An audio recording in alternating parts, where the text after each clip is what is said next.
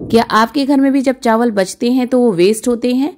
तो अब आप उन्हें फेंके नहीं, क्योंकि आज हम बनाने वाले हैं बचे हुए चावलों से बहुत ही मज़ेदार सा डोसा, जो कि बहुत ही ज़्यादा क्रिस्पी और मज़ेदार बनने वाला है।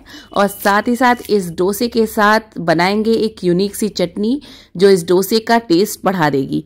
तो चलिए बनाना शुरू करते हैं इसे। तो इस डोसे को बनाने के लिए यहाँ पे मेरे पास है रात के बचे हुए चावल। इसे हम डाल देंगे मिक्सर जार में, साथ ही साथ डाल देंगे आधा कप के आसपास सूजी और आधा कप ही दही। तो दही खट्टी या फिर नॉर्मल आप कैसी भी ले सकते हैं। एक टीस्पून नमक डाल दिया है और इसे अब हम ग्राइंड करके एकदम स्मूथ पेस्ट बना लेंगे। तो अगर आपको पानी की ज़रूरत लगे तो आप पानी भी इसमें ऐड करके इसका पेस्ट तैयार कर सकते हैं। बस पानी का ध्यान रखिएगा, बहुत ज़्यादा नहीं ऐड करना है। तो बस इसका एक बढ़िया सा स्मूथ सा पेस्ट मैंने बना लिया है। अब इसे एक बोल में कर लेंगे ट्रांसफ़र। यहाँ पे मैंने बोल में इसे ट्रांसफ़र कर लिया है। तो बिल्कुल नॉर्मल डोसे जैसी कंसिस्टेंसी इसकी है। अब ये बिल्कुल परफेक्ट है। तो इसे हम 10 से 15 मिनट तक रेस्ट करने देते हैं। तब तक बनाएँगे चटनी। तो चटनी के लिए एक पैन में डाल देंगे ऑयल तो यहाँ पे मैंने मस्टर्ड ऑयल ही ऐड किया है। और डाल देंगे एक टीस्पून साबुत जीरा। जीरा के चटकने के बाद इसमें डाल देंगे बड़े टुकड़ों में कटे हुए प्याज। दो टेबल स्पून मैंने डाल दिया उड़द की दाल, दो टेबल स्पून चने की दाल। इसे हम बिल्कुल लो फ्लेम पे भून लेंगे।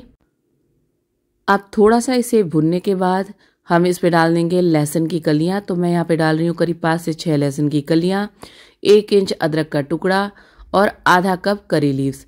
मैंने डाल दिया है दो मिर्च को इस तरह से तोड़ के और इसे भी हम थोड़ा सा एक से दो मिनट तक रोस्ट कर लेंगे।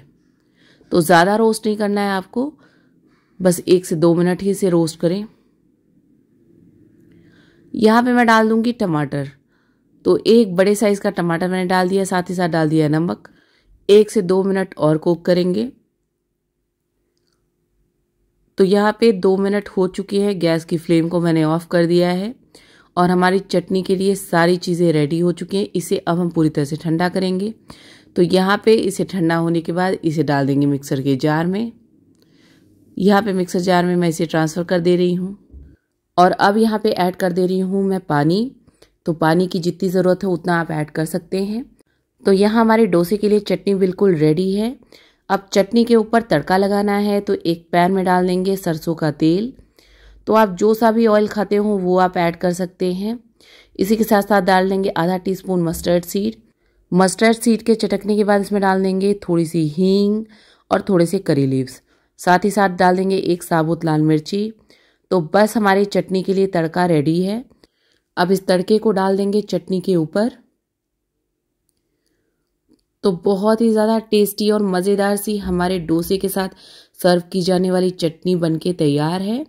इसे आप डोसा, इडली किसी के साथ भी इंजॉय करें, बहुत ही ज़्यादा मज़े की लगती है। अब डोसा बनाने के लिए मैंने तवे को अच्छे से गर्म कर लिया है। इसके ऊपर डाल देंगे थोड़ा सा ऑयल करीब आधा टीस्पून के आसपास, और इसे कर लेंगे तवे के ऊपर स्प्रेड अब यहाँ पे तवा गर्म है तो इसके ऊपर हम डाल देंगे थोड़े से पानी के छींटे और इसे टावल से अच्छे से पोछ लें। अब यहाँ पे बैटर ने रेस्ट कर लिया है तो चलिए अब इससे बना लेते हैं डोसा। तो तवे के ऊपर इस तरह से इस घोल को हम डाल देंगे बिल्कुल सेंटर में और इसे बिल्कुल जैसे नॉर्मल डोसा बनाते हैं वैसे ही घुमाते हुए स्प्रेड कर लेंगे। तो तवे के ऊपर इस तरह से स्प्रेड कर लेना है। तो तवे के ऊपर डोसा बैटर मैंने स्प्रेड कर लिया है। और थोड़े टाइम के बाद ही ये ऊपर से थोड़ा थोड़ा ड्राई लगने लगता है। जैसे इसमें ब्राउन चित्तियाँ आए, वैसे ही हम इसमें ऊपर से डाल देंगे थोड़ा सा देसी घी। तो यहाँ पे ऊपर से मैंने थोड़ा सा देसी घी डाल दिया है। आप ऑयल का भी इस्तेमाल कर सकते हैं।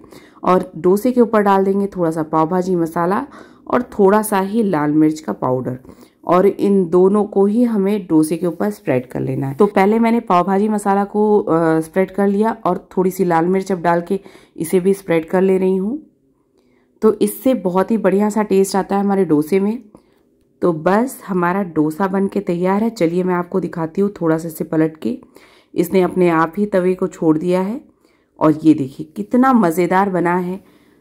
तो फ्रेंड्स जितना ये देखने में अच्छा लग रहा है, खाने में उसे कहीं ज़्यादा टेस्टी होता है। तो चलिए एक और बना के आपको दिखा देती हूँ। यहाँ पे इस तरह से तवे के ऊपर सेंटर में डालें और उसे इस तरह से घुमा लें।